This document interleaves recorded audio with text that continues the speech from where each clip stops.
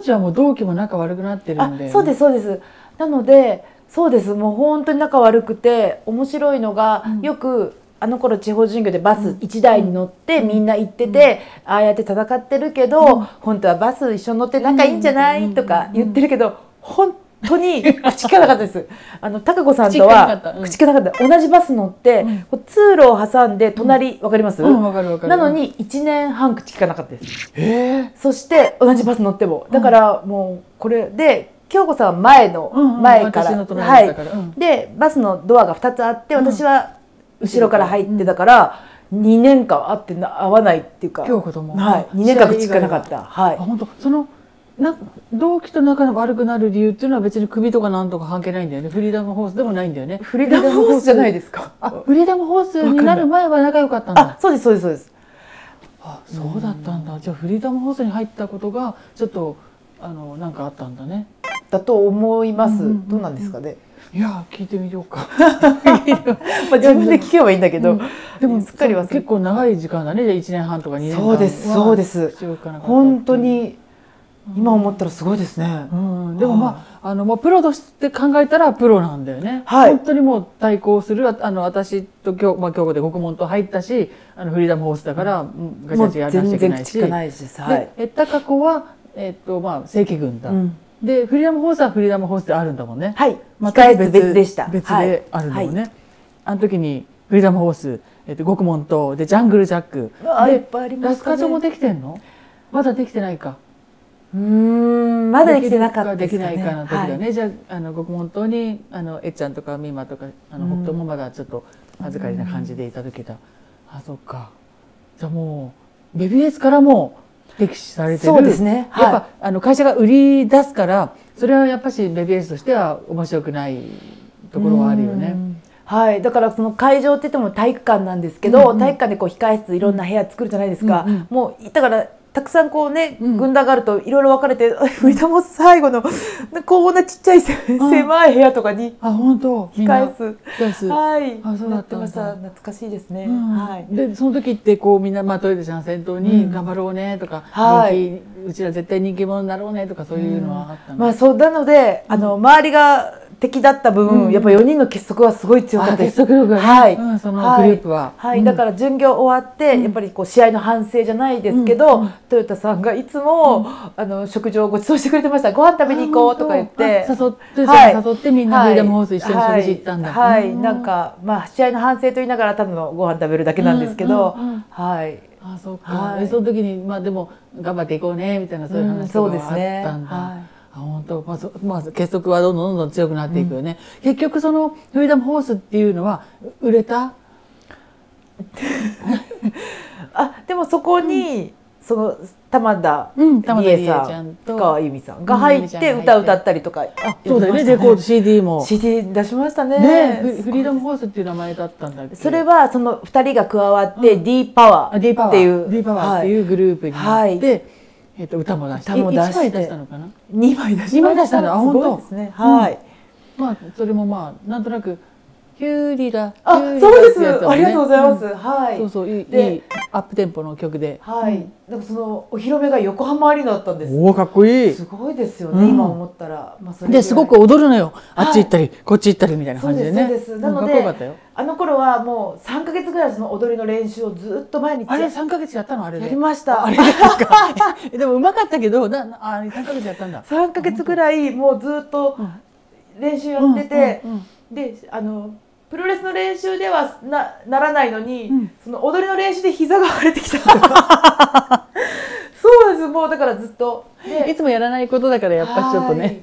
で踊りのなんか、うん、ダンスの先生もなんか、 SMAPをやってるとかなんかなんかとにかくすごい、えー、素晴らしい先生だったんですよ。でもすごい、こんなので、うん、で2枚目出しました、うんうん、踊りが全然ないんですよ。もうあもう。これだけ。あもうこの人たちは踊らせない方がいいっていうことになったんですね SMAPの。はい、あの振り付けやってる人たちも。そうだった。そんなことありました？あ本当。でもいい思い出だね CD 出せたっていうのはねはいそね、それはね、はい、まあそうこうしてるうちにえー、っとどんどんどんどんまあフリーダムホースあの解散っていうのは結局あったのかな？なしにあの自然消滅？です。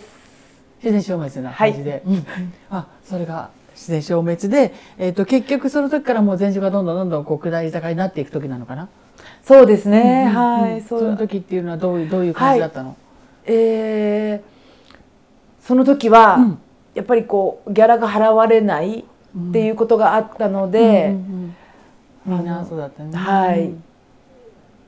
まあでもね試合を見に来てくださるお客さんにはそのことはわからないからって言って、みんな試合はやってましたね。はい、そしてちょうどでもそうフリーダムホースがあって、うん。えー、と京子さんが新しく団体を作るとか、でアルシオンでロシオ川さんが作るとか、うん。うん。で前女に残るとか、うんうん。なんかその3つうん。があったんですけど、うん。私思い出しました。ちょうどその頃にうん。怪我をしたんです。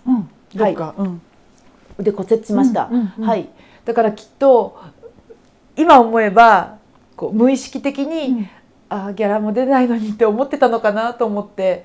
だから試合で試合中に骨折したのがもう分かったんですね、うん。うん。もう怪我の経験はもううん。数知れてたから、うん。ああ折れたって分かったんですよ、うん。でももう明日から休みだ。じゃあ今日だけ頑張ろうって言ってテーピングをぐるぐる巻いて、試合中に？はい。折れたの分かって、折れた分かって、うんでそのまま試合はできましたね、うん。で場外にこう三角跳びって言ってうん。ロープをポンって、ポンポンってそれも、うん。なんか今思えば、うん。そう骨折したのに飛んで、うん。ちゃんと試合はうん。終わやりました、まあ、負けちゃったかもしれないけど、うん。はい。で次の日から、まあ、休んだんですけど、うん。もうその頃から、その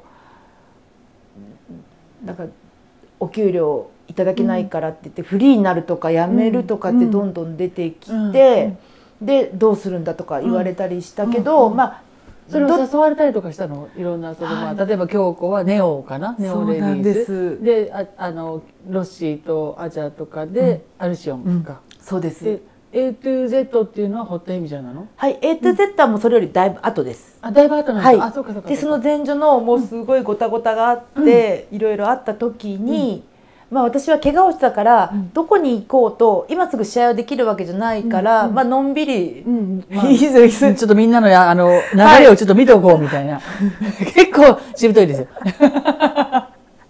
なんか結構な感じですよ、はい、ですごかすごい一日があったんです。うん。何？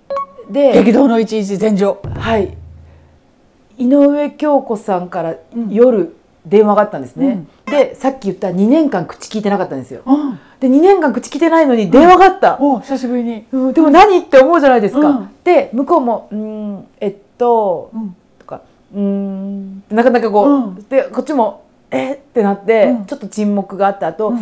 まあいろいろあったけど、うん。前女もこんなこういうことだし、うん。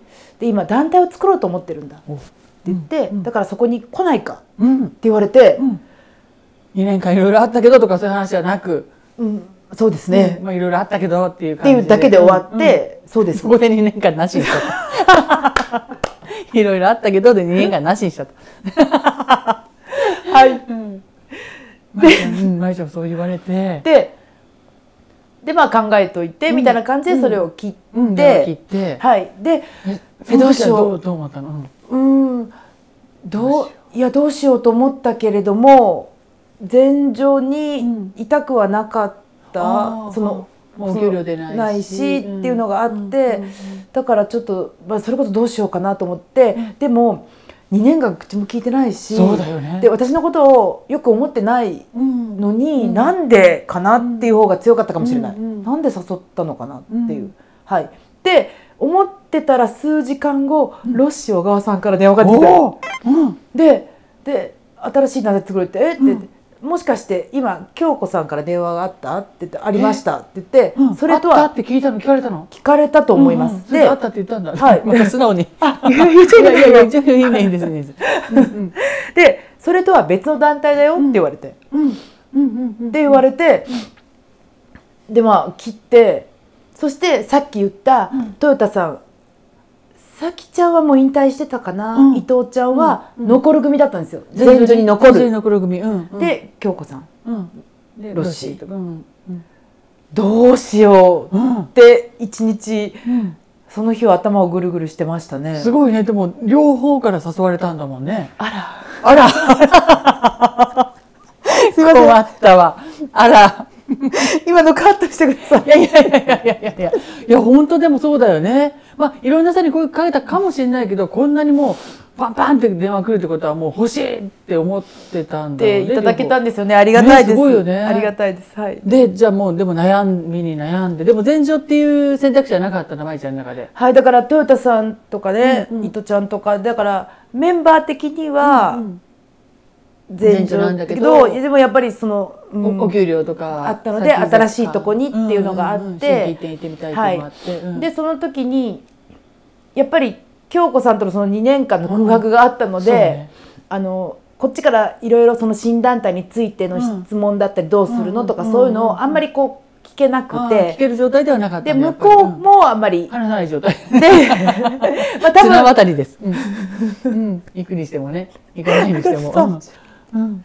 綱渡りでした。ねそうだよでねその間にその小川さんロシ小川さんうんとうん。新団体についての、うん。私がいろいろこう聞いたらこうだよっていう、まあ、連絡を密に取り合えたんですよ。なのでまあ結局そこである賞っていうことになりました。決めてじゃあはい。そっちに行きますっていうふうにした、でじゃあ京子にはあの、あっちに行きますってことは言ったの、はい、電そうです話して言ったの、ね。はい。大丈夫だった？もう一回2年間始めますみたいなそれ大丈夫だった。のはい、まあそうですね、結局そこで別なので、また2年間じゃないけど近いものはあったかもしれないですね。はい。だから結局また話さないみたいなね。そうかまあ、あ会う時もないからね。ねそうなんです。ね。はい。そうかそうか。まあ京子も忙しかった、まあ、うん新しい新団体ね,、ねはい。自分で長でやるから、はい。それは大変だったと思います。じゃあこれでアルシオン入った、はい。でいろんな説明を受けてるから、はい。これは行ってみようっていう感じで、はい。どうどうだったの？いやも